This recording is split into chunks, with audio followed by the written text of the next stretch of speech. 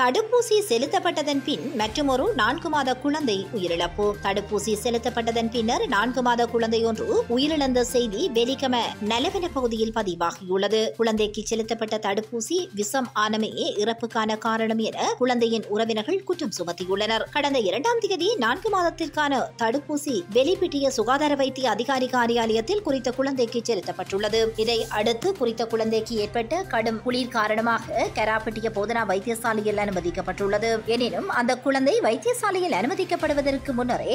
இறந்திருந்ததாக பிரேத பரிசோதனை அறிக்கையில் தெரியவந்துள்ளது